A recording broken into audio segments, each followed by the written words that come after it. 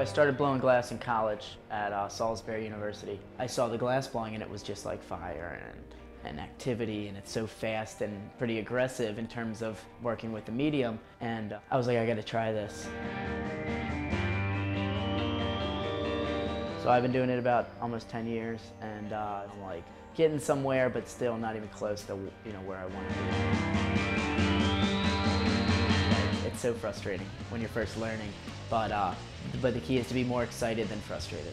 You know, it's, it's going to get better as long as you practice. You have to figure out the medium, and it takes time, and it takes practice, and it takes repetition, doing it, doing it, doing it before it, you start to develop anything. You know, you have to learn how the glass moves before you can start controlling it. That's the hard part is, you know, being diligent and uh, sticking with it. You just spend hours and hours of breaking stuff. It's so frustrating, but it's so rewarding when you get that thing right. So it's like, you just smash it, smash it, smash it, and then you finally start to make progress and you're like, that's why you do it. I'll come up with an idea and then I, will just practice it until I figure it out. And if it's something I'm proud of, it'll go in the gallery. If it's something I'm not proud of, it'll go in the garden.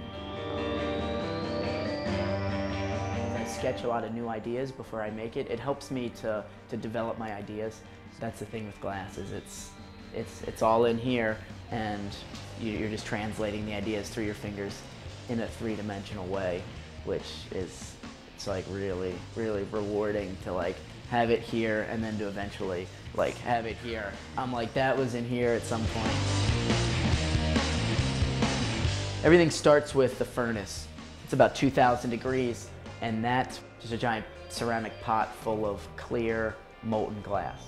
You always start with a hot pipe what we call blowpipe. It's like a hollow metal rod. So you preheat the rod so they're hot enough that you can get the glass to stick to it. So that's pretty much the basis of everything. You start by getting some glass on the end of a preheated rod and then for, you know, a piece like this, you have kind of like a little bigger than a football size glob of molten glass.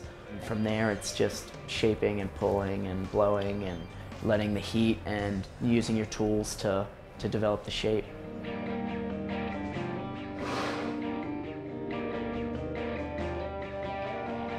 Uh, the Glass Grill is a restaurant uh, connected to the shop. It's like a glass blowing themed restaurant. They've been open about two years now. My parents saw it as, you know, my business might make for a more lively, more interesting restaurant atmosphere.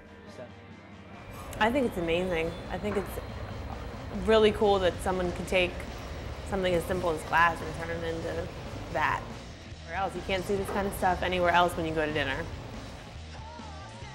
You know, chandeliers, the light fixtures, all the sinks in the bathrooms, all the accent pieces and stuff up above the bar is all stuff that we've made out in the shop.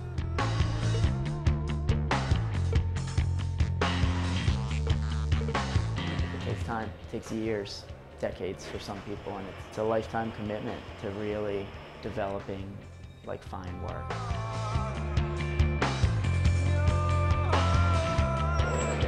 Monday through Saturday there's glass blown stuff going on, so people are welcome. People that just come in, they see it and they're like, I want to do that. It gives them a better appreciation for the work. They'll see the process, they understand at least somewhat what goes into all of these objects. Nothing's mold blown, everything's freehand, so there's, there's no two that are the same, and everything's unique and not like anything you'll find anywhere else.